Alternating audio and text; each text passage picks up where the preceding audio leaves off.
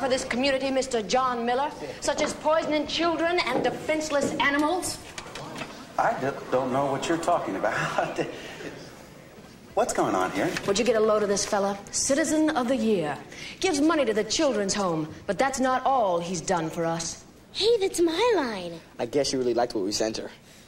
I have proof that Mr. John Miller has dumped barrels of toxic waste right here in the middle of his own neighborhood. That's ridiculous. She's lying. Am I lying, Officer Cole? John Miller, I have a warrant for your arrest under Section 27 14 of the Environmental Conservation Law, a Class C felony. Reckless endangerment of the public health, safety, or environment. You can't prove anything.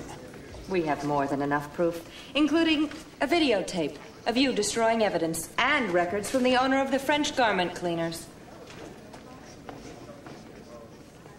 All of you know me. You know how much I've done for this community. Let's go.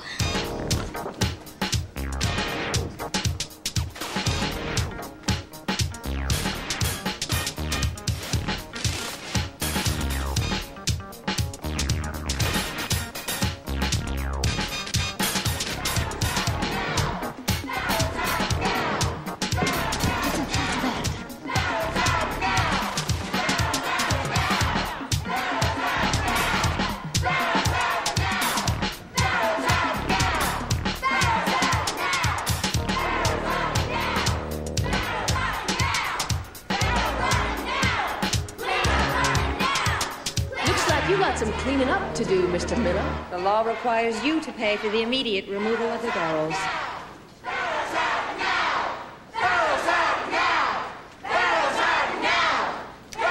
I bet the people of this community will go a lot easier on you, Mr. Miller, if you don't wait for the court to order you to get rid of those barrels.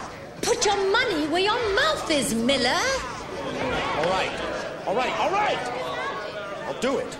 Get rid of them right away.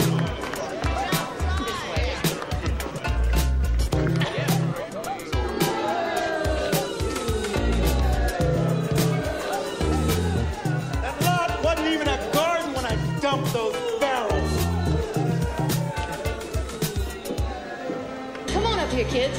I want everyone to know who you are.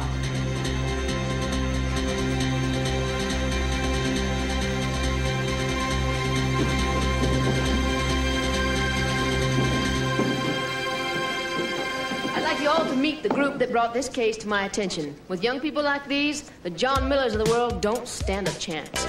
Let's do it. Miller